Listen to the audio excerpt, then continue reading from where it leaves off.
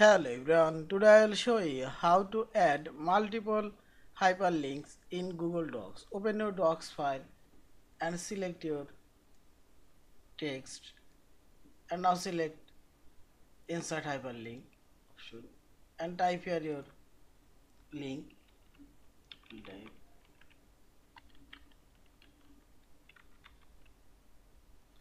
Youtube.com this hyperlink already added and this hyperlink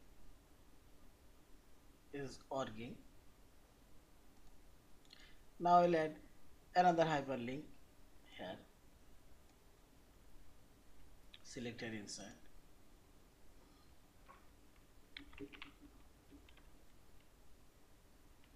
facebook.com this hyperlink also added.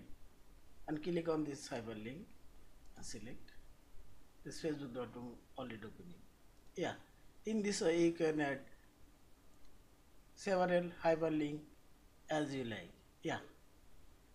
Thank you for watching. Please subscribe like share and comments